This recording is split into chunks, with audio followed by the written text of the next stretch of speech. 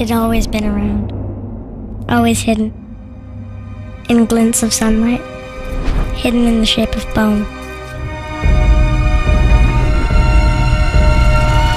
Until after a while, someone notices, and then he can't stop noticing.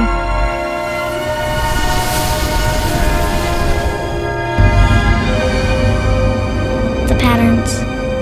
How many cars come through here? How many people? What about that direction? How many birds perch here? Is the there? lightning speaking? Is there information in the ring?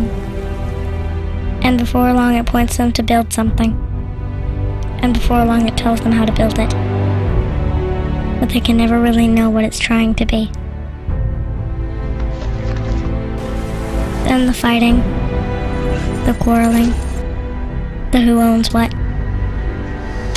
Until the great machine is stolen, buried.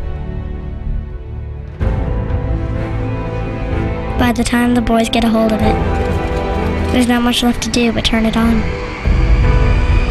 And out comes everything.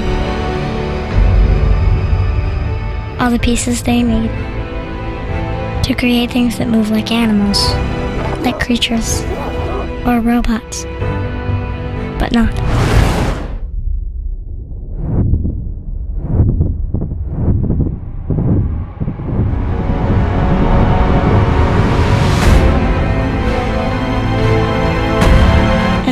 Boys, they can't help but think of something they've been given as something that they've earned.